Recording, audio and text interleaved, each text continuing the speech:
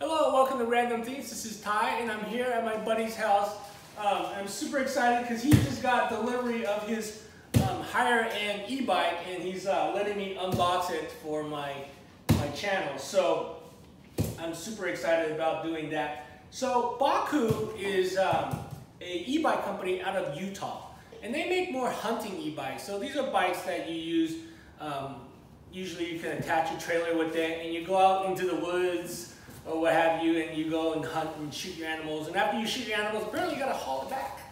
And so, you know, you gotta put it in a little trailer and haul it back home. And they have a variety of models. Um, the higher end um, Bakcou is called a Mule. It's a mid-drive motor. It's 170 newton meter of torque um, Bafang motor. This particular one is their Flatlander, and as the name suggests, it's more for, I guess, uh, people in Kansas you know, where it's flat. But apparently you can still hunt when it's flat. And so they need a bike that can do that. Now this particular bike um, did, he did opt for a upgraded battery, so it's a 21 amp hour battery. And so with that 750 watt motor and that 21 amp hour battery, in theory you could get a range of roughly 80 miles on that type of setup. Now I don't know if you're hauling a, a big carcass. I don't know what, how that affects um, your distance, but in this case, we're just gonna just go with the straight bike and no hauling carcasses. Um, so a couple of other key stats on this particular bike, um, and we'll go through the unboxing, but it's got uh, front suspension, it's a, it's a aluminum alloy composite frame. Um, I already said it's a 750 watt Bafang rear hub motor. It is a nine gear, not a seven gear, it's a nine gear rear hub motor and it's got like a 206 millimeter front disc and 160 millimeter rear disc brake. Um, so all the components on this bike is on the higher end compared to like some of the more, I guess, um, cheaper bikes like my other ones. Anyway, so with that, um, let's go ahead and get the unboxing going and see what this looks like.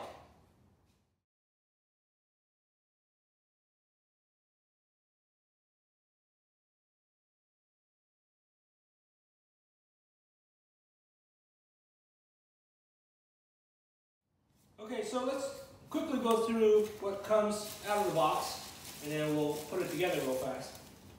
You got your user manuals that comes in this bag. You actually get a, nifty hat. I don't know where the hat went, but uh, you got your pedals from Genia. Um, your charger, front light, front reflector.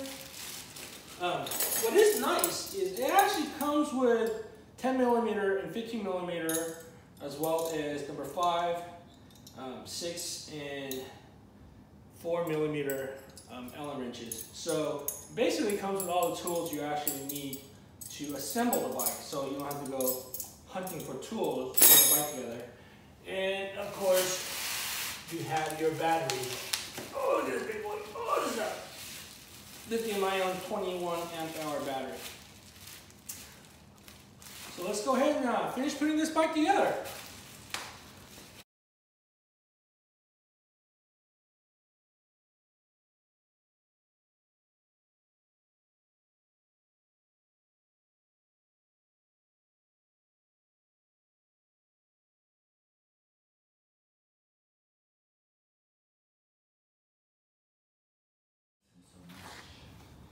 Just real quick, as you put in the front tire, there's a little plastic clip that they use for shipping that is slip in between the disc, um, I guess to protect the pads inside the, uh, the disc brakes. So you have to pull that out before you can put the front wheel in.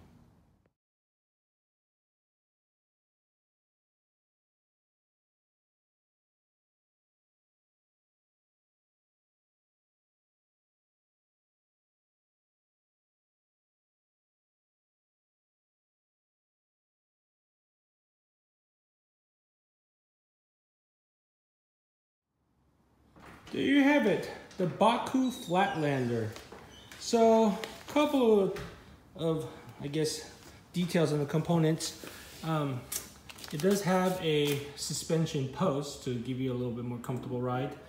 It is a 40 tooth front crank, um, so it's really designed for climbing. In the back, there's nine gears, and that's the smallest one being 11 and the big one being 36. So it's comparable of having like a 48 or a 52, um, given that you have all these gears in the back.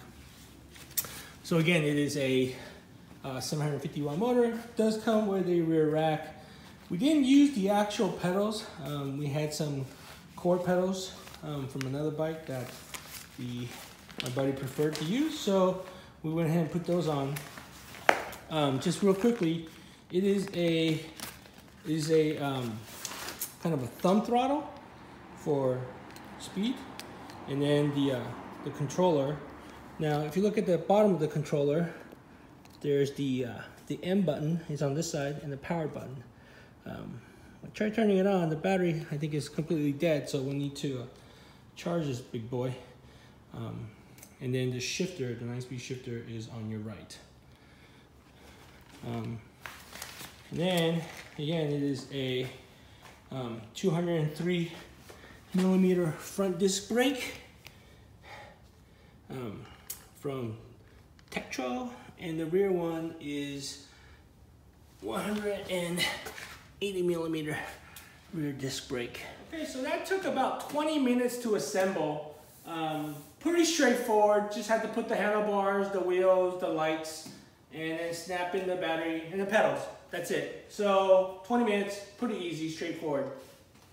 The one bummer part was the battery had no charge on it, so um, I couldn't power it up to kind of go through the settings and just uh, see if I can go 35 miles an hour. That's next. Um, but just a couple more details. The charging is at the bottom of the battery when the battery snapped in. The key lock is right here. And the battery is always in a lock position. It kind of snaps in and there's a little tab that goes in. To pull the battery out, you have to put the key in, unlock it, hold it in unlock position, and pull the battery out. Now, on the back side of this battery, there is a USB port. I think you can charge via USB, and then there is a power button up here. I think that's if you were pull the battery out and you want to charge it maybe like on your desk. Um, you can charge it using USB, and then you can check the battery percentages when it's not actually um, hooked up to the bike. So with that, um, we're gonna let the bike charge overnight and then see how it goes and uh, test out and see if we can go like 35 miles an hour. Um, also, my buddy needs a second bike for Buddies of Buddies, um, and that will be an Aventon Adventure. So keep a lookout. We'll be unboxing that bike shortly when that gets here. Um, so with that, I hope you found this video helpful. If you did, please hit the like and share button. If you're not a subscriber, please subscribe. That would really help me out. And as always, thank you for watching and cheers.